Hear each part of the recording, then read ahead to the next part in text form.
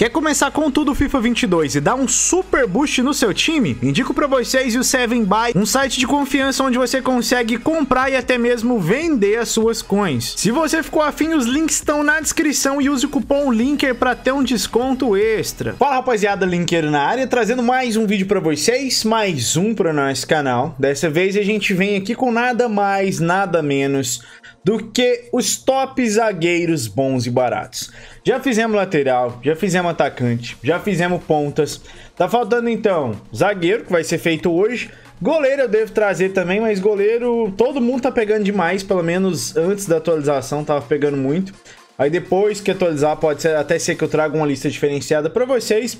Vai faltar meio armador, volante, segundo volante. Então faltam esses aí para vocês. E só depende de vocês para ter, deixando aquele seu like saboroso aqui nesse vídeo.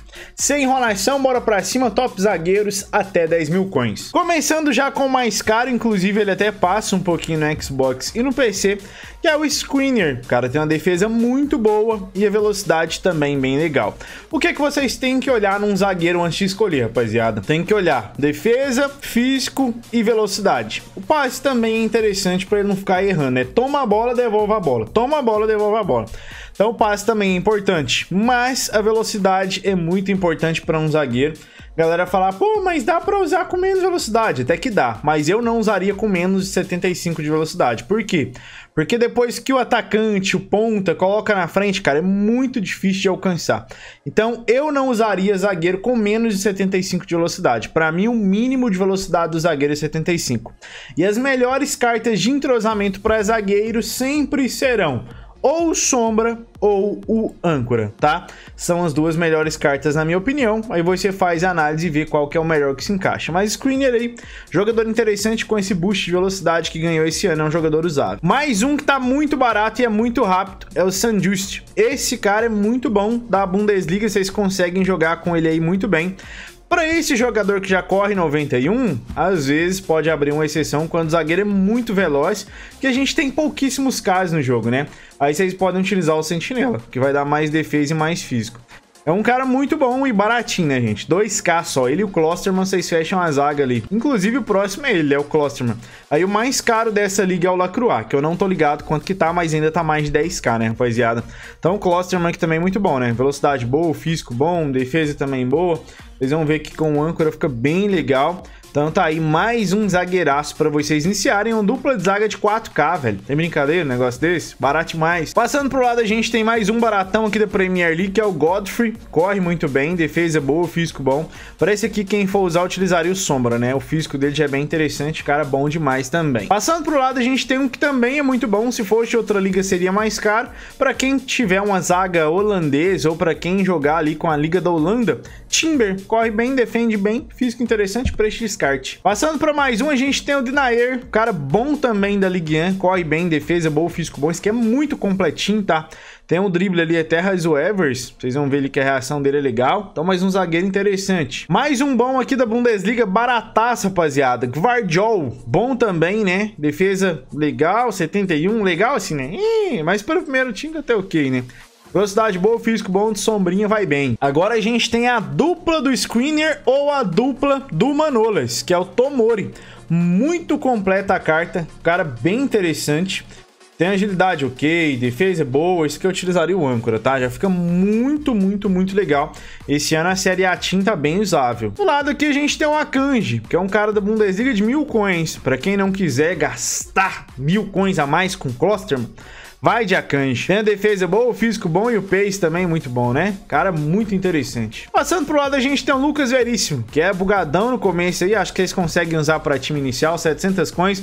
E tem um link com o Pepe, né, mano? Tá aí o Manolas, esse aqui também é muito bom, tá? É um dos caras que tem a velocidade boa e tem uma defesa maravilhosa. Esse cara aqui de âncora fica muito bom defensivamente. Então, assim, por 1.400 coins, mano, é uma baita de uma zaga, né? Com 5k, você faz Manolo e Tomori. Tá de brincadeira? E com menos que isso, com 1.500 coins mais ou menos, 1.800 coins, você faz Pepe Lucas Veríssimo. Tá de brincadeira? Olha só que zaga também, mano.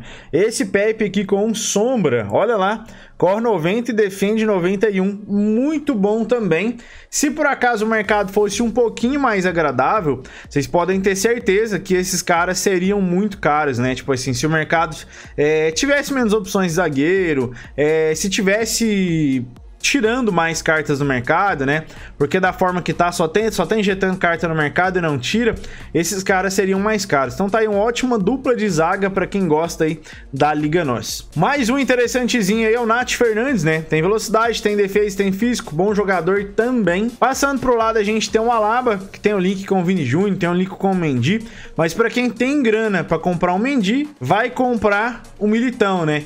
Que era o link do Alaba. Eu falei Vini Júnior, não sei nem porquê, porque é bem difícil linkar o Alaba, ligar, linkar um zagueiro com um ponta, mas ok, né? Mas tá aí, Alaba, interessante também, corre bem, chuta bem, drible bom, passe bom. É uma carta bem equilibrada, né? Defesa boa também, pra quem gostar aí, interessante. Mais um aqui do Chelsea, Rudgers, que é muito bom, tá, rapaziada? Porque o cara tem velocidade ok, e a defesa e o físico dele é muito boa. Então, assim, esse cara tem uma presença ali na defesa excelente. Vocês podem utilizar o Sombra para correr um pouco mais ou âncora. Nesse caso aqui eu iria de sombra para ficar pelo menos 85 de velocidade. Já estamos quase finalizando, ó. Tem o Mário Hermoso aqui também que é legal, corre 75 a defesa, boa física interessante. E para finalizar com chave de ouro para você já deixar aquele seu like saboroso, Romerão da Massa. Eu usava no meu time até esses dias, é interessantezinho também. É, tem uma defesa boa, tem um físico bom, o posicionamento dele é bem ok. Só vai pecar, como eu falei para vocês, na velocidade, tá? Então assim, é bem interessante que exista um equilíbrio aqui entre aceleração e o pique. Porque, por exemplo, se a aceleração do cara for baixa demais e o pique 90, ele não vai corresponder tão bem dentro de campo. Então é legal ter ali uma, uma média, né? Tipo assim, para que seja pelo menos parecido, não tem ali uma, uma diferença tão grande entre a aceleração e entre o pique. Então tá aí os top zagueiros bons e baratos. Vou ficar devendo para vocês volante, segundo volante e goleiros agora, né? E meio. Então esses que eu vou ficar devendo para vocês. Depois que acabar eu trago para vocês os top dos top. Posso fazer também top jogadores da Premier League, top jogadores da Bundesliga. E assim a gente vai criando conteúdo aí. Caso você tenha ideia de algum conteúdo, você pode deixar aí nos comentários. Deixa nos comentários se você usa algum zagueiro que é muito bom e não tá nessa lista abaixo de 10 mil coins. E o vídeo que eu tinha hoje para vocês, Eric. Espero que vocês tenham gostado. Tamo junto, se inscreve no canal. Aquele abraço, é nóis e eu fui.